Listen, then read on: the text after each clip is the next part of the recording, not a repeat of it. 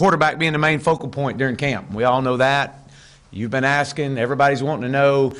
Can't go anywhere. People want to know who the starting quarterback is. I get that. And, uh, but I'll tell you this I've been highly impressed by the improvement and the competition at this position. And I think it, uh, the growth in one year from John Stephen Jones that he's shown us and has shown his teammates um, is, is in, in, the track that he's on uh, to having an incredible career here. Uh, KJ Jefferson, his athleticism, as we've all seen, we all knew that coming in, and his playmaking ability um, is well ahead of where we thought he would be as a true freshman coming in here in just a short uh, three weeks of camp. Um, so his starting point was definitely uh, much higher, and his growth uh, through camp uh, has shown great promise.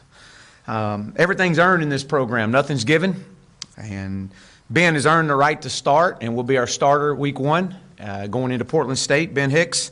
Uh, the competition between Ben and Nick uh, has been impressive, to say the least, over three weeks.